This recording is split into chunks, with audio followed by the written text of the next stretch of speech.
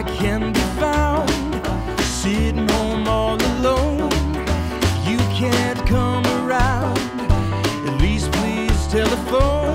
Don't be cruel to a heart that's true. Baby, if I made you. Yeah, well, when I was a kid, uh, I had a cousin who played drums. Uh, first cousin, in fact. And he's the only kid in the neighborhood that had a set of drums. He's the only one that could afford it. So uh, every day about 2 or 3 o'clock in the afternoon, he, he had a grocery store, folks did. And he lived like right next door to, to the uh, store. And he'd go over there and work a couple hours on drums, playing, you know, just himself and records, listening to big band stuff. And I'd go by there from time to time and sit down and listen to him, watch him play. And then he said, "You want to play a couple?" Yeah, I'll play. And I didn't know anything about big band music that much, you know. But uh, after you do it a while, you just like anything else, you get uh, you could you learn to do it. So, and that's how we all of us got started to other bands, you know, because we didn't have any money to buy any instruments of any kind, you know. So he was the luckiest one of the bunch. Yeah, well, uh, I did that for years. I worked uh, cocktail lounges, bars. Uh, you just uh, what you do, you, you go in and whatever wherever you're playing, learn something. You try to learn something, whatever it is, you try to learn something. So uh, that's we work these bars and whatever. So you learn a little bit of something everywhere you go. And uh, I, I finally went over to the hayride, and uh, I was not what they call a country drummer, you know. Uh, so I had to learn to play like they felt, you know. So stick in the brush, pretty quiet, no loud noises, you know. And that's what I did for another 10, 15 years, you know, just learn to play quiet and easy for them, you know. Uh, hardly any foot pedal because they, they themselves didn't like bass drums, the artists. And in fact, they couldn't sing with a bass drum. They, they, most of them sang out of meter. You know what I mean by that? They have a two-four bar here and a three-four bar there. So I stayed out of the way. I, I wouldn't play the bass drum. I played up here, you know, straight as I could. So if it had to turn the beat over, you don't, turn it over without worrying about that bass drum. So that's, I learned, that's how I learned to play, just turn, turn the beat around for them. That way nobody sounded like a, like a train wreck out there, you know? They had a big, it was a very sheer curtain, it wasn't a very heavy curtain. And, uh, when it first started, they said, "Well, you have to play back there. I said, well, how come, you know? Well, you know, we got country artists and they don't know anything about drums and one thing and another. I said, well, okay. I went back, I'll stay back there two or three weeks, you know, till Elvis come on, you know. He said, well, bring the boy out here, you know, we need to hear him, what he's doing. So he was the one really got us on stage. Elvis, he said, let, let him play, heck, you know. And uh, after that, then they, everybody wanted drums in. Oh, that sounds really good, guys. Uh, you want to play with me? No, I'm tired.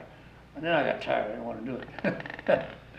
he walked in, and I knew he was. I mean, he had uh, these funny clothes. I call them funny clothes. You know, the peg pants and the belts and the shirts and ties and everything. And uh, Scotty come over and said, "Hey, uh, we're going to do a couple tunes tonight. You, you want to work with us?" I said, "Yeah, uh, that's why I'm here." So I think they did That's Right. He didn't have a couple songs anyhow, so That's Right, Mama, and maybe one more. And it worked out good, you know, for what he wanted. So he come in a couple weeks later, same thing, same thing every week. I said, yeah, I'll be glad to do it for you. And he said, hey, we're going to go to Texas for three or four days. You want to go? I said, yeah, I'll go with you. So I went over there and we come back to Hayride again that Saturday night.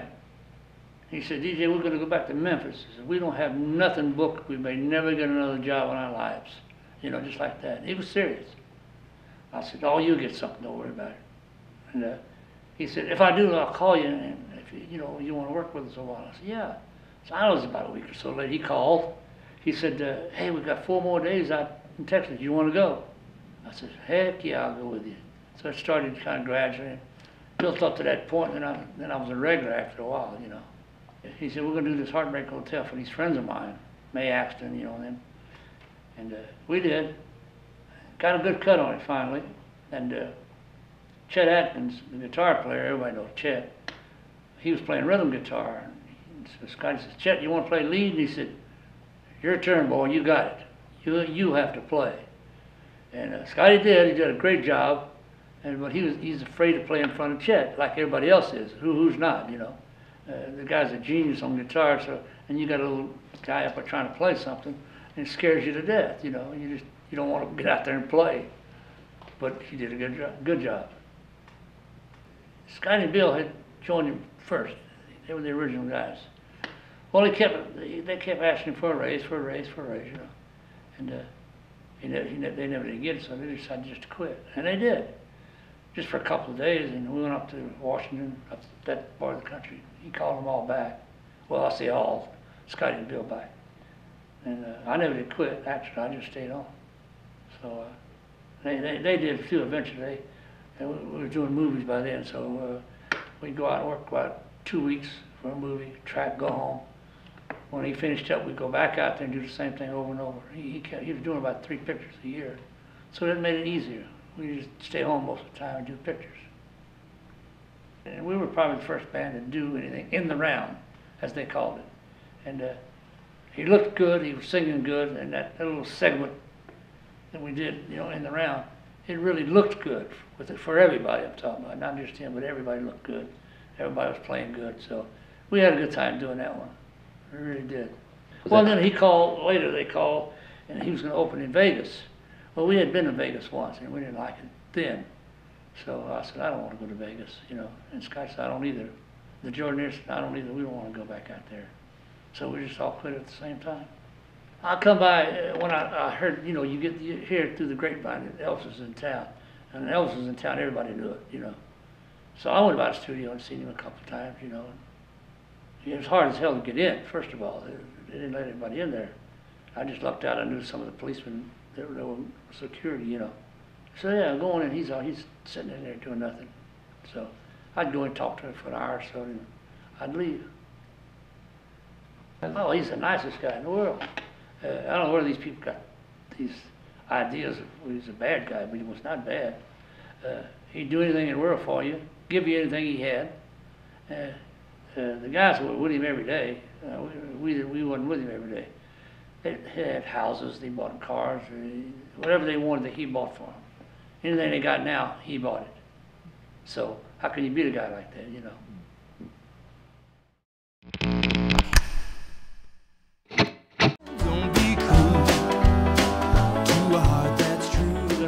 Don't be cruel. And actually, uh, it was actually Elvis playing the backbeat on the back of a guitar case. Uh, had been a leather case put over the top of this guitar, and uh, it was a unique sound. Uh, we had, and, back then, you know, we didn't have all the gadgets they got now, so we was always looking for something different to put on the record. And he come up with that thing. He said, "What do you think, guys? I you better play that then." And uh, he loved the sound of it. I, I bet you, I bet you, there's probably eight or ten records. You'll hear that guitar, and he's got it up here sometimes, like this, and it sounds like a, a bongo or congo player. Uh, some of the older records, and it, it, it was really a good sounding record. All those records were good. I liked them all, and he played great rhythm. In fact, he played better rhythm than anybody else in the studio. He played great rhythm. He sang it, played it at the same time. Yeah, they don't do that anymore. Uh, they'll do one cut and six months later come back. Well, by then you done lost the idea of the whole song. You just lost it. Uh, he didn't like the overdub in the first place, so we did everything live right then and there. Stay out of the way of him, see. I, mean, I knew he wasn't gonna get lost. I could, uh, but he, he never. I never seen anybody get get. He couldn't get lost. Don't ask me why, but he never did. Oh, we done this song. It was such a big hit. I don't know how many millions it, it did sell after it was finally shut down. It had "Don't Be Cruel" and "Hound Dog" back to back, and it's like 38 million or something like that. You know, the boy couldn't hardly get arrested, could he? But he, he was very good at what he was doing. He had a unique ear uh, to whatever he wanted to do, that's what he did. Uh, we had a lot of times the producers, they get upset with him, you know. They said, look, I'll do it, don't worry about it, guys, we'll, we'll catch up. He was always worried about burning up too much studio time and have to pay the musicians overtime. He said, it's okay, my money, let it go. And they did. And it's a good thing they did.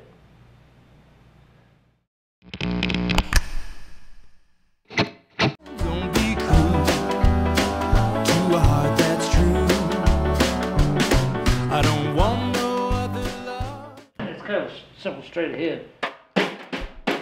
About the same old thing.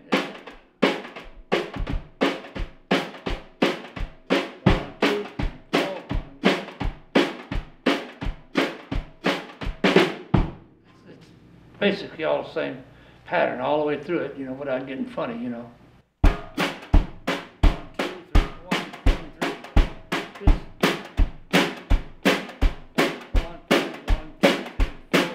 Is a one in four, and this is downbeat actually. That's what you go by.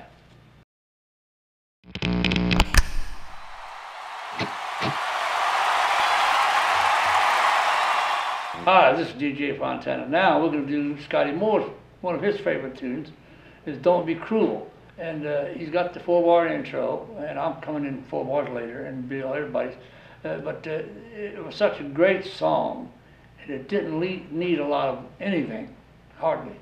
And uh, that's the way we cut just straight ahead, no a lot of funny noises, no nothing, just a good song.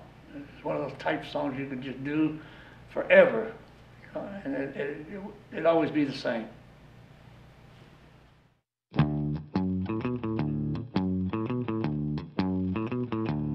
You know I can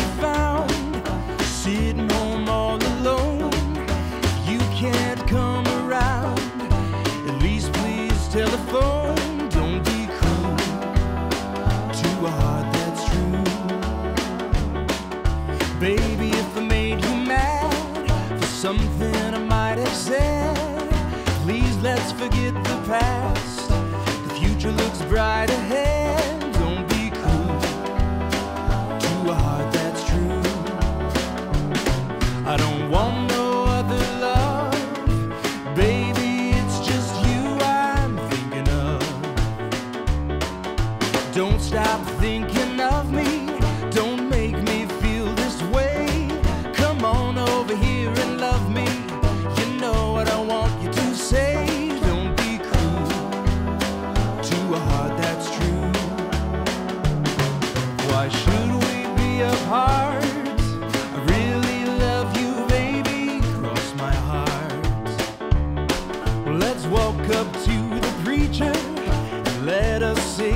Do.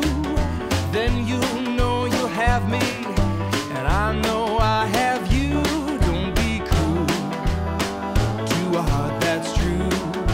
Well, I don't want no other love, baby. It's just you I'm thinking of. So don't be cruel